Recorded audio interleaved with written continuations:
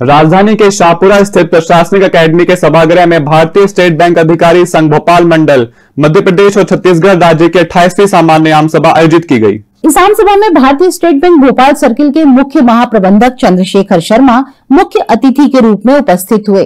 कार्यक्रम में विशिष्ट अतिथि के रूप में एसआई प्रसाद, रूपम राय और अरुण भगोलीवाल उपस्थित रहे। भारतीय स्टेट बैंक अधिकारी संघ भोपाल मंडल के अध्यक्ष अनिल श्रीवास्तव एवं महासचिव संजीव मिश्रा सहित अन्य पदाधिकारियों ने सभी अतिथियों का पुष्प गुच्छ भेंट कर स्वागत किया। मुख्य अतिथि चंद्रशेखर शर्मा ने अपने उद्बोधन में ग्राहक और बैंक के विश्वास के रिश्ते को अधिक मज़बूत करने की आवश्यकता पर बल देने की बात कही।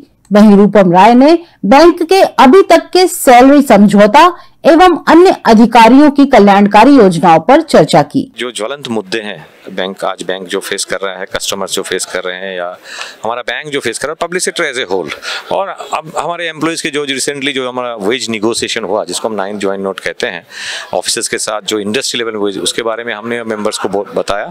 और बैंक का बैंकों का क्या क्या चैलेंज है, जो आपने भी सुना, आप बैठे थे प्रेस के सारे लोग, उसके बारे में बोला कि कस्टमर सेंट्रिक होना चाहिए बैंक को ध्यान रखना चाहिए।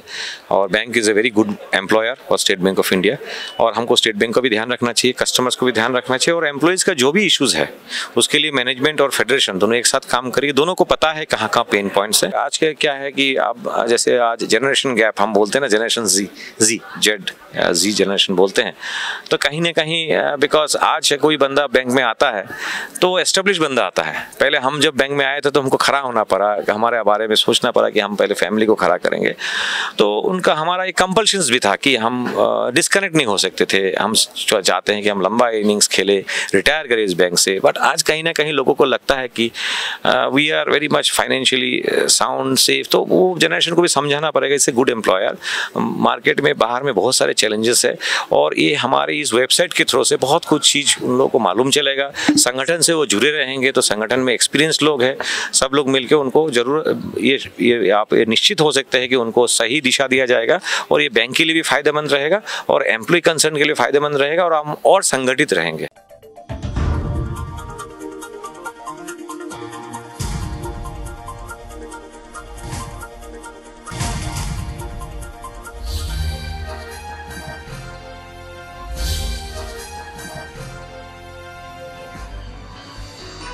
आप देख रहे हैं दखल न्यूज़।